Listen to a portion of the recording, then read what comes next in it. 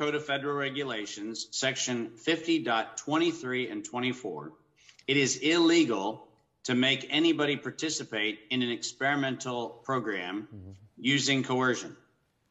That is, in fact, how in U.S. law we actually embraced in U.S. law the Nuremberg Code.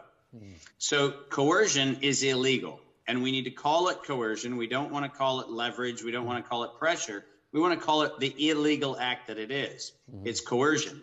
And that becomes important because under 18 U.S. Code, section 2331 and then subsection 802, um, inside of the definition of domestic terrorism is any time a U.S. citizen or a government in the U.S.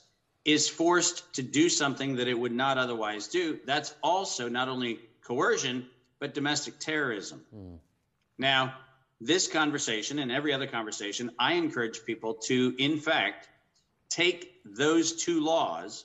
And when they are met with somebody telling them they're supposed to get the shot, actually ask the person and record this. Use your phone, use a recording device, record the conversation, and ask if they are, are in fact, violating 21 Code of Federal Regulations, section 50.23 and 24. Are you interested in doing a civil violation of the law?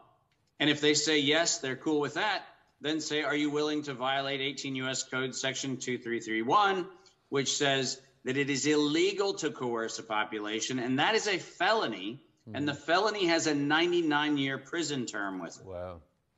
And so here's the problem. We need to arm ourselves as a big community to not only do what we've done, and by the way, kudos to everyone who has done the resistance up until now, but now we have to arm ourselves with the very weapons they're using and throw them back. I always say the metaphor for me is if somebody throws a hand grenade at at you, hmm. pick it up, pull the pin out, and throw it back. Hmm. Um, they've given you the hand grenade, use it.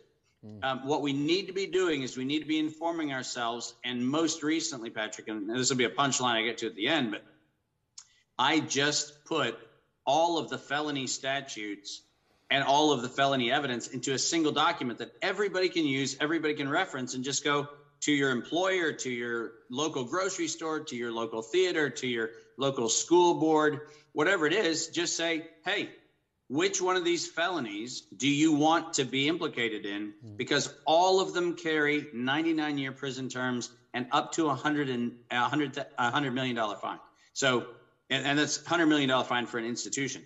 So it's actually a big deterrent, and as we have been manipulated and coerced as a population, we now need to actually take the offensive position and say, stand up, be informed, and provide the eight felony counts that you can ask any employer, any business, any anybody who's trying to push the mandate,